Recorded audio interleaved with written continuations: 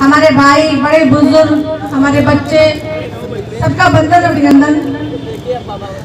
और बहुत ढेर सारा प्यार। प्यार से याद आया। प्यार की भाषा अगर किसी ने सिखाई है तो वो है राधा। तो एक बार ज़ोर से सारे लोग मेरे साथ बोलेंगे, राधे राधे। राधे राधे। प्यार बहुत ही मज़बूत होता है। प्यार से सभी को बांधा जा सकता है। प्यार को गलत तरीके से नहीं लिया जा सकता है। कान्हा ने जब वृंदावन छोड़ा था तो मात्र 11 साल, छप्पन दिन के थे वो। उस उम्र में कैसा प्यार होगा? आप लोग समझ सकते हैं। एक बच्चे जो प्यार करते हैं, बहुत ही निश्चल करते हैं। आज हम उस धरती से चल के आए हैं जो इतिहास बना रहा है। ये भाजपा सरकार वहाँ पे सारे इतिहास बना रही है। ये भाजपा सरकार जो भी बोलती है, जस्ट उसका उल्टा करती है। ये कहती है, ये महिलाओं को सम्मान देती है। बेटी पढ़ाओ, बेटी बचाओ का नारा दिया इसने। आप सोच सकते हैं, लखीमपुर खीरी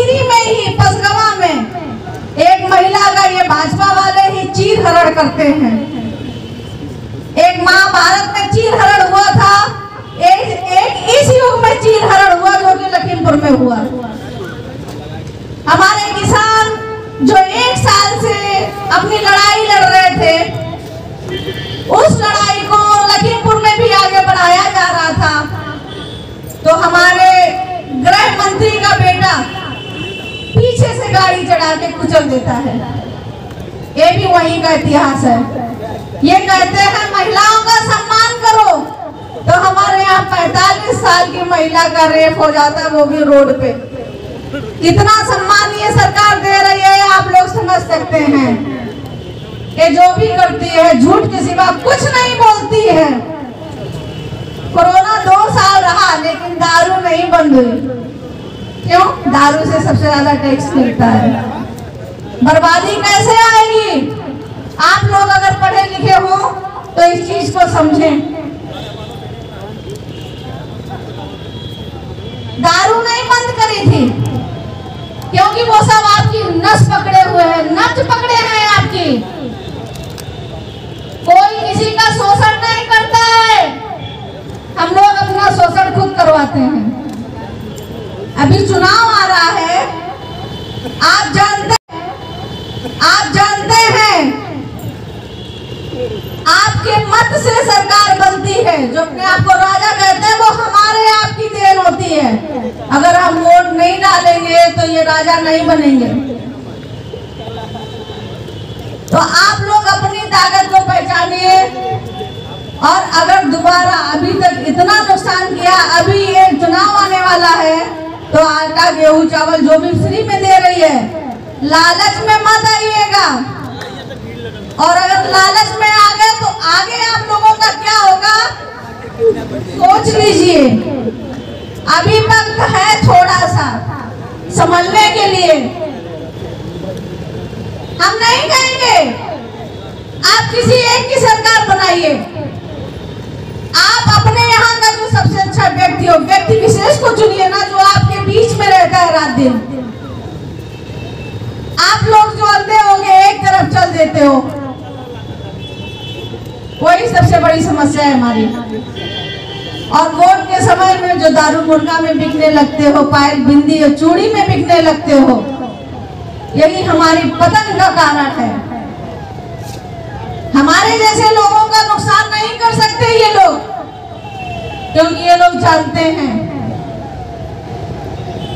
एकल शिक्षा नीति लागू होना चाहिए।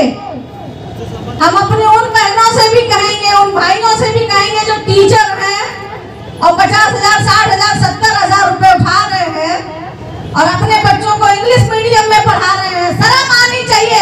ऐसे टीचरों की नौकरी छीन लेनी चाहिए। आपको अपने ऊपर भरोसा नहीं है, सरकार से पैसा लेना चाहते हो और अपने बच्चों को प्राइवेट पढ़ाना चाहते हो। जब तक शिक्षा का एकीकरण नहीं होगा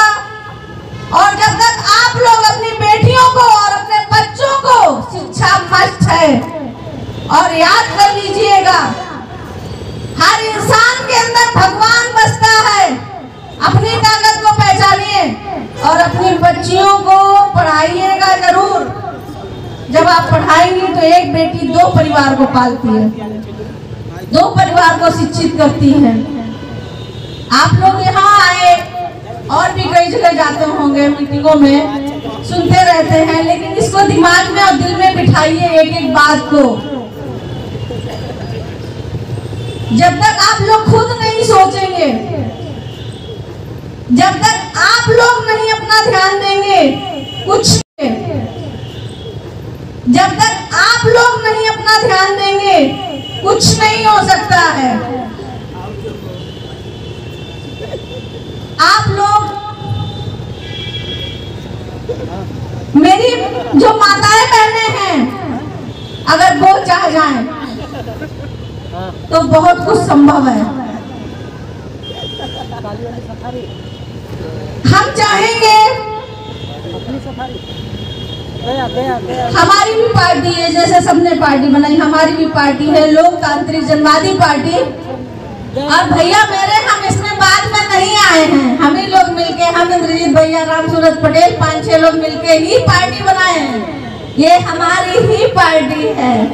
हम बीच में नहीं आए। न्याय मंच मेरा एक संगठन है जो कि लड़ाइयाँ लड़ता है गरीब जनता की लड़ाइयाँ लड़ता है किसानों की लड़ाइयाँ लड़ता है। हमारा पैसा जो गन्ना भुगतान नहीं मिलता है उसमें ब्याज नहीं मिलता है। इसके लिए हमने पीआईएल करके 27 दिन में जीता था वो मुकदमा। कि अगर हमारा पैसा कंपनियों के पास में है तो हमको भी ब्याज मिलना चाहिए। हमारे यहाँ घटौली का बहुत बड़ा प्रॉब्लम गन्ना का सबसे बड़ा सेंटर है। लखीमपुर सीतापुर तो घटौली के लिए भी हमने लड़ाई लड़ी थी। हमको पता ही नहीं है कि जब आपका गन्ना वहाँ फैक्ट्री में पहुँच जाता है, वहाँ जितने दिन आप रुकेंगे, आपके खाने का, आपके रहने का, आपके सोने का, सब फैक्ट्री की ज़िम्मेदारी होती है। अगर आप बैल और गाड़ी से गए हैं तो बैलों का चारा का जिम्मेदार भी उन्हीं का होता है फैक्ट्रियों का। ये लड़ाई भी हम सत्ताईस दिन में लड़े हैं। हमारे यहाँ पे गन्ना माफिया बहुत हैं, फर्जी सट्टा वाले। उसके लिए भी एक गाँव पड़ता है बौदी खुर्द, जहाँ पे हमने एक अपने भाई के नाम से एप्लीकेशन लगा दिया। वहाँ पे जैसे ही फर्जी सट्टा बंद हुए तो उनका घर घेर लिया। फर्जी सट्टा माफियाओं ने। फिर मुझे वहाँ भाग के जाना पड़ा। मैंने कहा, आप डरिएगा नहीं, घर से मत निकलिए, हम एक डेढ़ घंटे में पहुँच जाएँगे। जब हम पहुँचे और गाड़ी से उतरते ही मैंने ललकार के कहा कि मैंने किया है ये। मुझसे लड़ो आप लोग। आपके फर्जी सट्टा के चक्कर में वो गरीब आदमी मर जाते हैं जिनके पास कम ज़मीन होती है। उनकी पर्चियाँ नहीं आती हैं। तो इस तरह की बहुत सारी लड़ाइयाँ हम लड़ते रहते हैं अपने न्याय मंच न्याय मंच हमारा संगठन है और किसान हमारा, जिसने अपने धैर्य का परिचय दिया।